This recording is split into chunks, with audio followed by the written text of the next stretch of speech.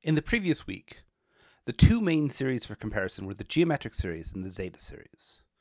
Both of these series had a parameter, the common ratio for the geometric series, and the exponent labeled p for the zeta series. Now I want to rethink those two examples. Instead of, of thinking of them as having a parameter, why don't I think of them as functions? If x is a variable, I can define a function f of x as the infinite series from 0 to infinity of x to the n. I know from the geometric series that this evaluates to 1 over 1 minus x. But now I have a different way to write that function as a series. What is the domain of this function? Well, this function only makes sense if the series converges. Otherwise, the series is not a number and therefore the function has no output. Therefore, the domain is the parameter limitations of the common ratio, negative 1 to 1. Well, now I have a function defined by a series, and the domain is the places where the series converges. I can do the same thing for the zeta series. By writing x instead of p for the exponent, I have a function zeta of x given by the series. The domain of this function is the value of the exponent for which the series converges. Well, that's all x strictly greater than 1. Well, now I have another function defined by a series, with a domain of all values of x for which the series converges. This actually explains the name zeta series that I've been using in this course. This function here is the zeta function and is a very famous function in mathematics with a rich history. There is even still a famous conjecture about the zeta function, the Riemann conjecture, which is one of the most well-known unsolved problems in mathematics. This zeta function is defined by this series. That is its definition. From these two examples, let me generalize. Instead of the terms of a series an just being some numbers that depend on the index n, they can be functions an of x which involve a variable x. In this way, I get a series with a variable in it. Then I can ask if this series makes sense, just as I did last week. However, there is a variable, so it may converge for some values of x and may diverge for others. Well, that gives me the domain of a function. Where x allows the series to converge, the function makes sense, and otherwise the function doesn't make sense. If I have a variable in my series, the convergence and domain are exactly the same thing. And in this way, I can use series to build new functions.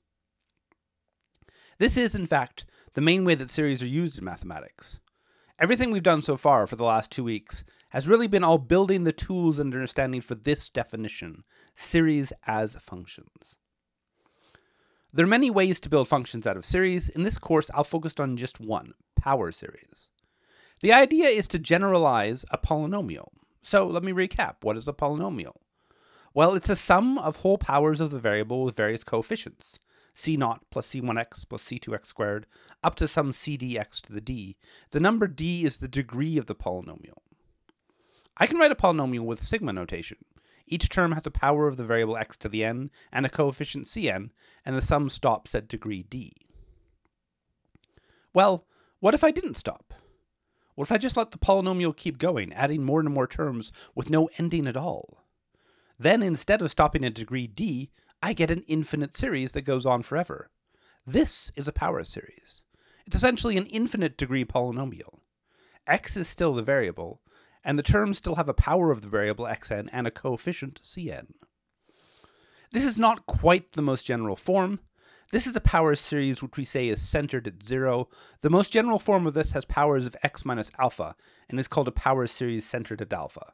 If you expand all the x minus alpha to the ends out, you still get the same thing, an infinite degree polynomial, but it is going to be useful for the series that we're going to work with to be able to shift the center point by replacing x with x minus alpha. So this will be the most general form of a power series. Then, as with all infinite series with a variable, this is a function with domain x, which is all x where this series converges. Let me show you some examples of how this works. Here's a power series centered at the point negative 2, so I have powers of x plus 2. x plus 2, of course, is x minus negative 2. The coefficient is 1 over n squared. Each power is multiplied by this coefficient, and the coefficient involves the index, but not the variable. Convergence for a power series is always calculated by ratio test. The ratio test asks me to take the ratio of the n plus 1 term over the nth term. Well, here's that ratio. The top fraction is the term with n plus 1 instead of n, and the bottom fraction is just the nth term. I simplify this nested fraction as usual, which leaves me with this expression. The powers of x plus 2 will cancel off almost entirely, leaving just an x plus 2, and then the two other pieces will end up with n squared over n plus 1 squared. Now this limit. This is a limit in the index n. That means that the limit doesn't actually care about the variable x. Anything without the index n can be pulled out of the limit. So I'll pull out x plus 2. There's an absolute value here, which is from the ratio test setup, which uses absolute value to define the limit. And I can't drop that, since I don't know if x plus 2 is positive or negative. But then I can evaluate the limit. Asymptotically, this is n squared in both numerator and denominator, with leading coefficients of 1, so this limit is 1. The result of all of this is the expression x plus 2. Then, the ratio test says the series converges if this expression is less than 1. And that gives me a domain. The domain of this function is negative 3 to negative 1, which is all numbers where the absolute value of x plus 2 is less than 1. Here's another example. The center is 0 here, so we just have powers of x, no alpha here at all. The coefficient is n factorial. Again, I use the ratio test. I've not shown the original nested fraction, but it simplifies down to this expression. All but one power of x cancels, which will always happen with power series in the ratio test, and I pull out the absolute value of x. Then I have a ratio of factorials. And ratios of factorials mostly cancel out, in this case leaving n plus 1. The limit of this is infinity, which is no good at all. The only way the limit of this might not be infinity is if x equals 0 exactly, which would make every term in the limit 0, so the limit of zeros is in fact 0. So this series only converges if x equals 0. This is not a great function. Its domain is only the point 0. It is undefined everywhere else. Here is one more example. The center here is 7, so powers of x minus 7. The term is negative 1 to the n over 2 to the n n factorial, and again I use the ratio test. The ratio will remove all of the powers of negative 1 because of the absolute value, so I don't need to worry about those at all. Then I get this nested fraction for the ratio test. I simplify as usual, which as is always true for power series, will bring the absolute value of x plus 7 out of the limit. The remaining terms will almost all cancel except for 1, 2, and 1 n plus 1 from the factorials. And the result is this limit, which has the value 0. Since the limit is 0 regardless of the value of x, this converges for any x. The domain of this function is all real numbers. This series defines a function for any value of the variable x. The three examples I've done here are in fact demonstrations of all the possibilities. This is the most general way to write a power series, coefficients Cn, which do not involve the variable x, and powers of x minus alpha, where alpha is some real number called the center of the power series. For this setup, there are only three things which can happen.